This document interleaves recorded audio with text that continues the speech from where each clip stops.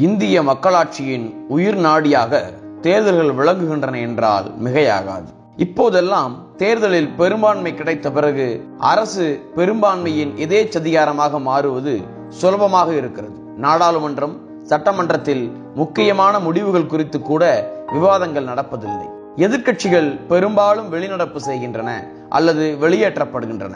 ஊடகங்கள் மீது கடுமையான அழுத்தம் இருக்கிறது. நீதிமன்றங்களும் சுயேட்சையாக செயல்படுகின்றனவா என்று பலரும் கேள்வி எழுப்பும் நிலையில்தான் இருக்கிறது. அரசு சார் அமைப்புகள் எதுவும் சுயேட்சையாக செயல்படுவதில்லை. அரசின் விருப்பத்திற்கு வளைந்து கொடுக்கின்றன என்ற குற்றச்சாட்டை முற்றிலும் ஒதுக்க முடியாது. அதனால் ஒரு பெரும்பான்மை இதே சதிகாரத்திலிருந்து தப்ப ஆட்சியின் மீதுள்ள கோபத்தை வெளிப்படுத்த மக்களுக்கு உள்ள ஒரே வாய்ப்பு தேர்தலாகத்தான் இருக்கிறது. அதிலும் ஈவிஎம் குறித்தும் பணப்பட்டுவாடா குறித்தும் பல ஐயங்கள் இருந்தாலும் தமிழகத்தில் பெரும்பாலும் தேர்தல் மேற்கு வங்கம் போல பெரிய அளவு வன்முறைகள் இல்லாமல் நடந்து இருக்கிறது. இந்த நிலையில் இவ்வளவு முக்கியமான தேர்தல் எப்படி நடக்கிறது என்பதை பரிசீலிக்கும் போது தேர்தல் ஆணையம் தேர்தலை நடத்துகிறது என்பதுடன் பலரும் நிறுத்திக் கொள்கிறார்கள். இந்த புரிதலால் இரண்டு பிரச்சனைகள் ஏற்படுகின்றன. உள்ளபடியே தேர்தல் எப்படி நடக்கிறது என்பதையும் அதை எப்படி மேம்படுத்தலாம் என்பதையும் குறித்து பொதுவெளியில் ஊடகங்களில் சிந்திக்கப்படுவதில்லை. அதே நேரம் கட்சி கட்டமைப்பு குறித்தும் போதுமான அளவு கவனம் செலுத்தப்படுவதில்லை. எனவே உள்ளபடியே தேர்தல் நடத்தும் களமான பூத் என ஆங்கிலத்தில் கூறப்படும் வாக்குச்சாவடியில் என்ன நடக்கிறது என்பதை நாம் கவனத்தில் கொள்வதும் சிந்திப்பதும் அவசியமாகும். தேர்தல் பணியாளர்கள் கட்சி வேட்பாளர்களின் முகவர்கள் வாக்குச்சாவடிகள் ஆகிய மூன்று தலைப்புகளில் சில அம்சங்களை விவாதிப்போம். நடந்து முடிந்த தமிழக தேர்தலில் நான்கு லட்சம் பேருக்கும் அதிகமானவர்கள் தேர்தல் பணியாற்றியுள்ளார்கள். அதில் காவல்துறையும் அடக்கம். ஒரு மின்னணு வாக்குப்பதிவு இயந்திரத்தில் சராசரியாக ஆயிரம் பேர் வாக்களிப்பார்கள் என்று கொண்டால் அந்த இயந்திரம் உள்ள வாக்குச்சாவடியை நிர்வகிக்க நான்கு பணியாளர்கள் தேவைப்படுகிறார்கள். மூன்று பேர் போலிங் ஆபீசர்ஸ் எனவும் அவர்களுக்கு ஒரு மேற்பார்வையாளர் பிரசீடிங் ஆபீசர் எனவும் அழைக்கப்படுகிறார்கள். இந்த வாக்குச்சாவடி பொறுப்பாளர்கள் ஜோனல் ஆபீசர் என்பவருக்கு கீழே பணிபுரிகிறார்கள். வாக்குச்சாவடி அலுவலர்களிடம் வாக்குப்பெட்டிகளை ஒப்படைப்பது அவற்றை திரும்ப பெறுவது இடையில் பிரச்சனை ஏற்பட்டால் தீர்வு கூறுவது எல்லாம் ஜோனல் ஆபீசர் என்பவர்தான். இவர் பல வாக்குச்சாவடிகளுக்கு பொறுப்பாக இருப்பார். இந்த மூன்று வகையினருமே பல்வேறு துறைகளை சார்ந்த அரசு பணியாளர்கள் தான் இதில் அரசு ஊதியம் பெறும் பள்ளி கல்லூரி ஆசிரியர்களும் அடங்குவர். அரசு பணியாளர்கள் என்பதால் அவர்கள் ஏதேனும் தவறு செய்தால் கடமை தவறினால் அவர்கள் துறை மூலம் நடவடிக்கை எடுக்கலாம் என்பதுதான் காரணம். வாக்குச்சாவடிகளுக்கு வரும் வாக்காளர்கள் இவர்களைத்தான் சந்திக்கிறார்கள். பெயரை அடையாளத்தை சரிபார்த்து விரலில் மை வைத்து வாக்குப்பதிவு செய்ய இயந்திரத்தை முடுக்குவது இந்த அலுவலர்கள் தான் அவர்கள் பணியை மேற்பார்வையிட வேட்பாளர்கள் கட்சிகளின் சார்பில் முகவர்கள் இருப்பார்கள். அலுவலர்களும் முகவர்களும் சேர்ந்துதான் வாக்காளர்களின் ஐயங்களுக்கு விடை சொல்லி அவர்கள் அடையாளத்தை உறுதி செய்து வாக்களிக்க வகை செய்கிறார்கள். அதாவது தேர்தல் என்பதே இவர்களால் தான் நிகழ்கிறது. ஜோனல் ஆபீசரோ வேறு தேர்தல் பொறுப்பாளர்களோ வேட்பாளர்களோ சில வாக்குச்சாவடிகளுக்கு சென்று சரிவரை எல்லாம் நிகழ்கிறதா என்று பார்ப்பார்கள். பல வாக்குச்சாவடிகளுக்கு யாரும் செல்ல மாட்டார்கள். இவ்வளவு முக்கியத்துவம் வாய்ந்த பணியை செய்பவர்களை பணியில் அமர்த்துவது பயிற்றுவிப்பது போன்றவை சரிவர முறைப்படுத்தப்படாமல் தான் நடக்கிறது. சில துறைகள் நிறுவனங்கள் ஊழியர்கள் பெயரை தாமாகவே தேர்தல் ஆணையத்திற்கு அனுப்புகின்றன. சிலவற்றில் பணியாளரின் விருப்பத்தை கேட்கிறார்கள் சிலர் விருப்பம் தெரிவிக்க சொல்லி கட்டாயப்படுத்துகிறார்கள். சில அலுவலகங்கள் கல்லூரி துறைகளில் யாரையுமே பணிக்கு பரிந்துரைப்பதில்லை. சிலர் அறுபது வயதானவர்களை கூட பணிக்கு அனுப்புகின்றனர். மத்திய பல்கலைக்கழகங்களில் ஓய்வு பெறும் வயது அறுபத்தி ஐந்து என்பதால் அறுபத்தி மூன்று வயது பெண்களை கூட பணிக்கு அனுப்பியிருக்கிறார்கள் அவர்கள் அடைந்த இன்னல்களை சொல்லி மாளாது. இப்படி சிலர் பணிச்சுமையால் ஏற்பட்ட மாரடைப்பால் இறந்தும் உள்ளனர். எல்லா அரசு அமைப்புகளுக்கும் தேர்தலுக்கு பணியாளர்களை எப்படி தேர்வு செய்து அனுப்ப வேண்டும் என்பதற்கான வழிகாட்டு நெறிமுறைகளை பொதுவாக்கி தேர்தல் ஆணையம் தனது வலைதளத்திலும் வெளியிட வேண்டும். ஒரு கல்லூரியில் ஆறு மாத கைக்குழந்தை உள்ள பெண்ணை தேர்தல் பணிக்கு துறை தலைவர் கட்டாயப்படுத்தி அனுப்பியுள்ளார். ஆனால் அதே கல்லூரியில் வேறொரு துறையில் யாருமே பணிக்கு அனுப்பப்படவில்லை. பிரச்சனை இப்படி தொடங்குகிறது. பின்னர் பயிற்சி மையங்களை அமைப்பது பயிற்சி தருவது ஆகியவையும் ஒன்று போல் இருப்பதில்லை. பல இடங்களில் ஏனோ தானோவென்று செயல்படுகிறார்கள். சில மையங்கள் மூன்று முறை பயிற்சிக்கு வர வேண்டும் என கட்டாயமாக சொல்கிறார்கள். வராவிட்டால் விளக்கம் கேட்கிறார்கள். சில மையங்களில் கண்டுகொள்வதில்லை. வந்தால் வா வராவிட்டால் போ என்று இருக்கிறார்கள். பலருக்கு தேர்தல் தினத்தன்று செய்ய வேண்டிய பணிகள் சரிவர தெரிவதில்லை. யாரிடமாவது கேட்டு தெரிந்து கொண்டு ஏதோ செய்கிறார்கள்.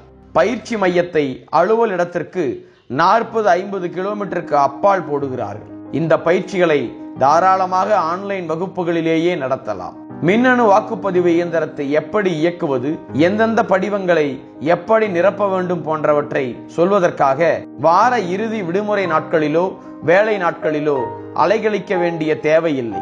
இவற்றையெல்லாம் அழகாக வீடியோ எடுத்து ஒவ்வொரு பணியாளருக்கும் கடவு எண் கொடுத்து கணினியிலோ அலைபேசியிலோ லாக்இன் செய்து பார்க்க சொல்லலாம். கடவு எண்ணை பயன்படுத்துவதால் அவர்கள் பார்த்தார்களா இல்லையா என்பதை சுலபத்தில் உறுதி செய்து கொள்ளலாம். அடுத்து எந்த வாக்குச்சாவடிக்கு யாரை அனுப்புகிறார்கள் என்பதிலும் எந்த முறையும் பின்பற்றப்படுவதில்லை. உடல்நலக்குறைவு உள்ளவர்களை முதிய பெண்களை தொலைதூர வாக்குச்சாவடிகளுக்கு போடுகிறார்கள். ஆரோக்கியமான சிறுவயது ஆண்களை நகர்ப்பகுதிகளில் போடுகிறார்கள். இதையெல்லாம் யார் எந்த அடிப்படையில் தீர்மானிக்கிறார்கள் என்பது தெரிவதில்லை.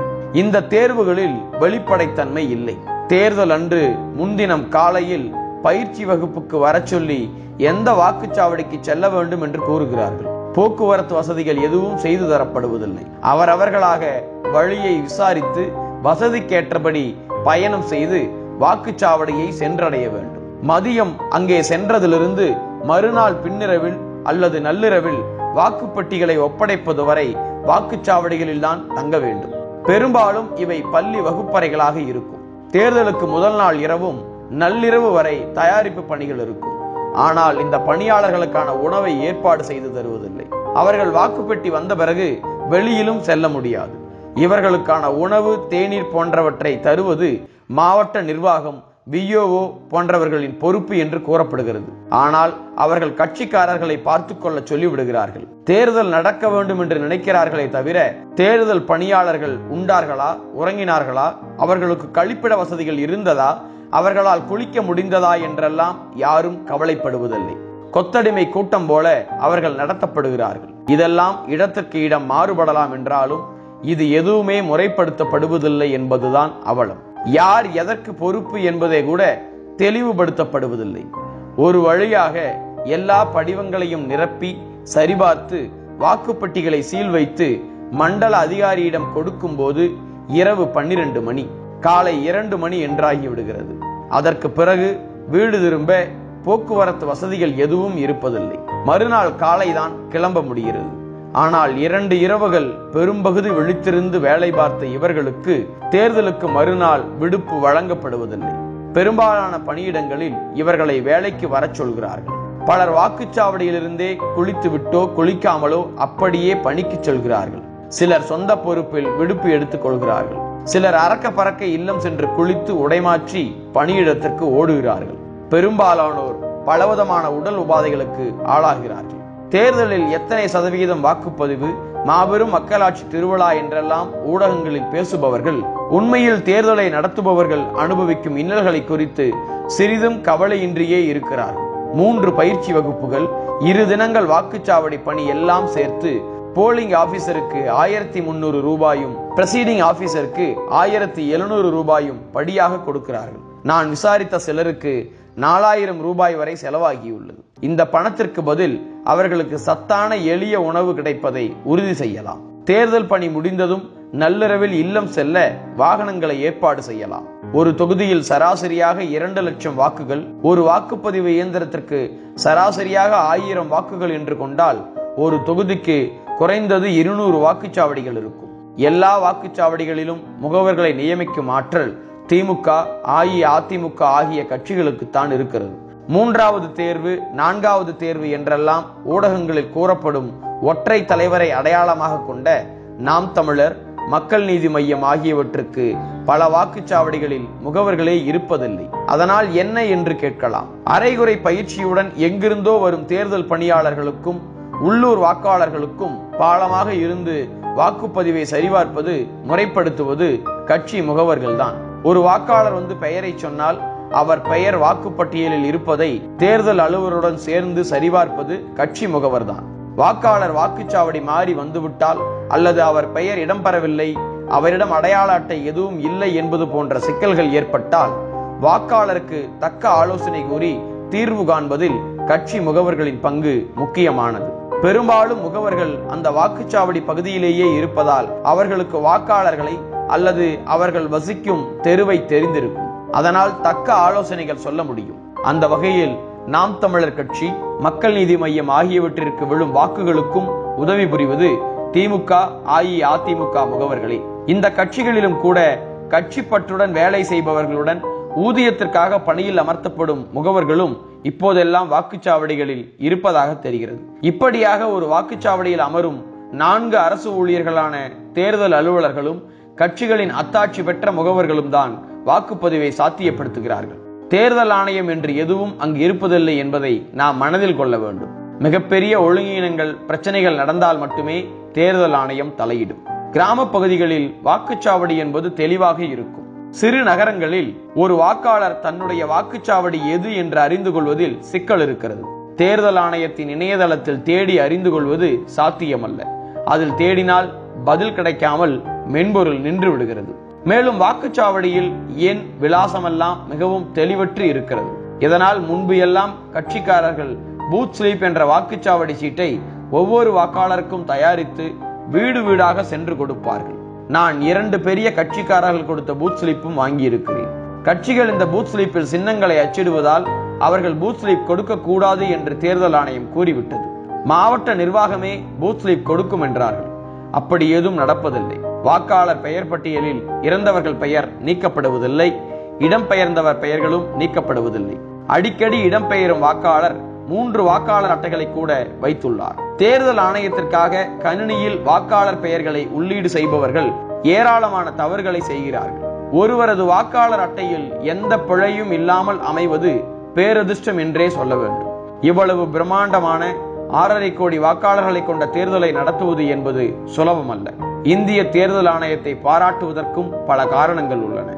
அதே நேரம் அரசு இயந்திரத்துடன் மாவட்ட நிர்வாகத்துடன் உள்ள இன்டர்பேஸ் மேம்பட வேண்டும். கணினி மென்பொருள் நிர்வாகமும் உள்ளீடு செய்யும் பணி மேற்பார்வையும் மேம்பட வேண்டும். தேர்தல் அலுவலர்களை பணியில் அமர்த்துவது பயிற்சி அளிப்பது பணியிட போக்குவரத்து வசதிகளை மேம்படுத்துவது ஆகியவற்றில் அக்கறை செலுத்தப்பட வேண்டும். ஆர்வத்துடன் இந்த பணியினை மேற்கொள்ளும் அரசு ஊழியர்களை அக்கறையின்மையால் பெரும் அவதிக்கு உள்ளாக்குவது அரசுக்கு அழகல்ல. லைக் பண்ணுங்க ஷேர் பண்ணுங்க கீழே கமெண்ட் பண்ணுங்க. மின்னம்பலம் யூடியூப் சேனலை சப்ஸ்கிரைப் பண்ணுங்க.